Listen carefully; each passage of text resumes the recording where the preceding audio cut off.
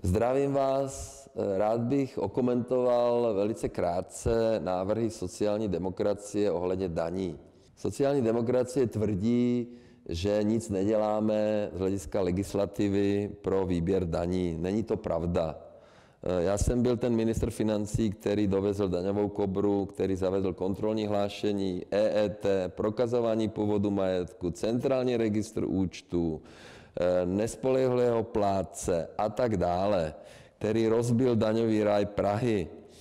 A pan Sobotka, když byl ministr financí, tak neudělal pro výběr daní vůbec nic.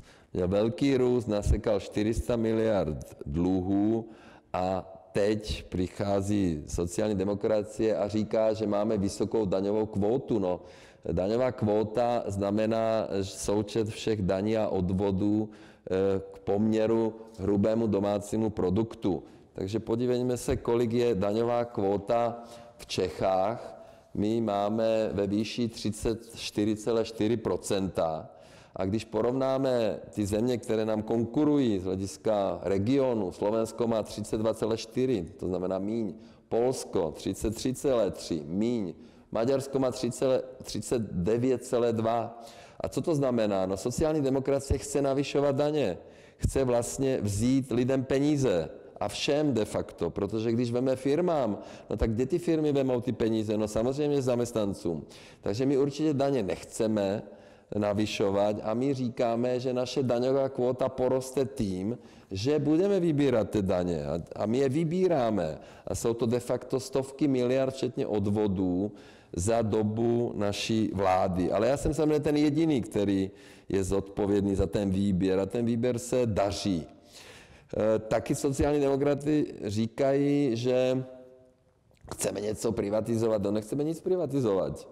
Já myslím, že pan Sobotka zprivatizoval OKD v prospěch svého kámoše Pokorného Bakalu. To největší tunel v dějinách naší země. Taky poslal 11 miliard ekologických zátěží Martinovi Romanovi do Škody Plzeň. No jak říká pan prezident, byl vlastně nejhorší ministr financí, ještě k tomu nasekal 400 miliard dluhů.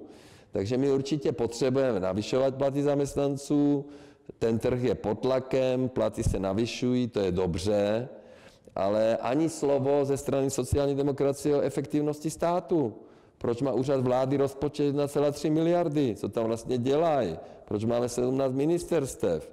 Proč máme netransparentní hospodaření České pošty a ČEPSu a tak dále? Proč nikdo neřídí zdravotnictví? Takže já myslím, že daně nechceme navyšovat. Já určitě ne. Chceme stabilní daně, chceme je vybírat a chceme, aby je všichni platili podle zákonu. Takže já si myslím, že lidi si musí vybrat. Vyšší daně znamená nižší spotřeba, nižší příjmy, zabrzdění růstu a sociální demokracie vlastně chce to, co tady vlastně udělala pravice před nástupem naší nové koaliční vlády. Takže zkuste o tom přemýšlet. Mějte se fajn a naschle příště.